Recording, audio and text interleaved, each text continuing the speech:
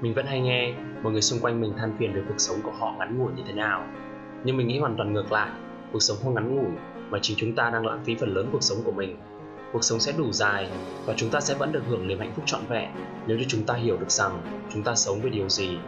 Các bạn thường nhậu nhẹt chơi game, chấp nhận dành thời gian với những người chẳng có ý nghĩa gì với cuộc sống của bạn, thậm chí đó là những người bạn không thích. Bạn dành thời gian tranh luận với mọi người xung quanh về những thứ nhỏ nhặt vặt vãnh hay sẵn sàng làm thuê cho ông chủ của bạn 60 năm và đợi những khoản bảo hiểm mà bạn đã còng lưng đi làm trước đó. Và cho đến khi xuống lỗ, bạn nhìn lại cuộc đời và thắc mắc rằng thời gian của mình đã trôi đi đâu hết. 60 năm cuộc đời trôi nhanh và thử nhìn lại, bạn vẫn chưa cảm thấy mình sống thực sự trọn vẹn.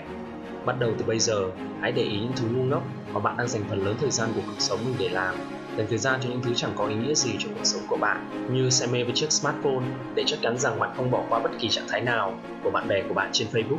hoặc ăn uống nhậu nhẹt say sưa, quên tháng ngày, xem TV hay cà phê hàng giờ liền vì chẳng biết làm gì khác.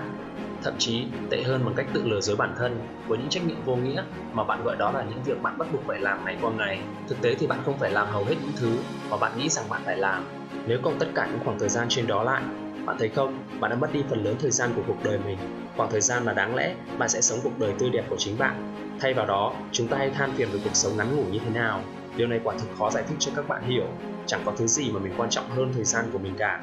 có thể nói mình thực sự rất tham lam với thời gian của cuộc đời mình mình hiểu rằng mình bắt buộc phải đưa ra những chọn lựa bởi bất cứ thứ gì cũng có cái giá của nó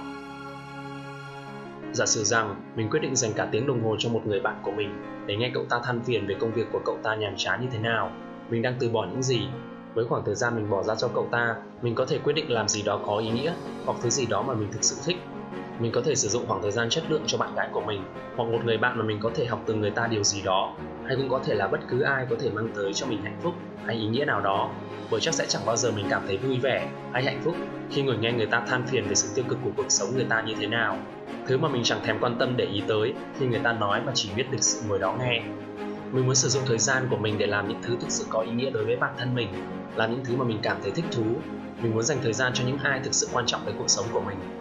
bạn có muốn chia số tiền mà bạn làm được cho tất cả mọi người xung quanh mình không? Nếu bạn có một người bạn hỏi rằng muốn bạn đưa cho anh ta 100 ngàn mỗi ngày, anh ta sẽ không thể là bạn lâu năm của bạn được. Vậy thì tại sao bạn lại dùng thời gian của mình cho tất cả mọi người xung quanh, ngay cả khi họ muốn kể hay than phiền với bạn vì điều gì đó tiêu cực chẳng liên quan tới bạn cả? Thực sự thì họ đang làm lãng phí thời gian của bạn. Bạn có thể làm ra được 100 ngàn sau đó, nhưng bạn không thể làm ra được khoảng thời gian mà bạn đã dành ra về thứ vô bổ mà người ta mang đến cho bạn phải không nào? Hãy biết quý trọng thời gian của bạn, đừng lãng phí nó với những điều vô ích đã nhận ra rằng thời gian chính là thứ quý giá nhất bạn có được. Mình năm nay ngoài 20 tuổi, nhìn về cuộc sống hiện tại của mình, mình nghĩ rằng nếu mình sống khoảng 60 năm nữa thì đó thực sự là khoảng thời gian dài. Mình có thể làm được những thứ tuyệt vời với 60 năm đó, nhưng có lẽ sẽ có một ông lão 80 tuổi nói với mình rằng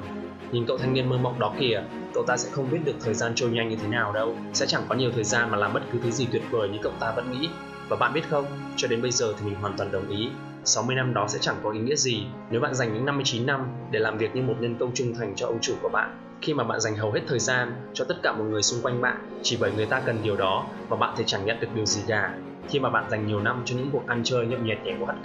và bạn gọi đó là cách bạn sống. Hãy nghĩ về câu hỏi này của mình một cách nghiêm túc nhất. Bạn đang sống hay bạn đang tồn tại?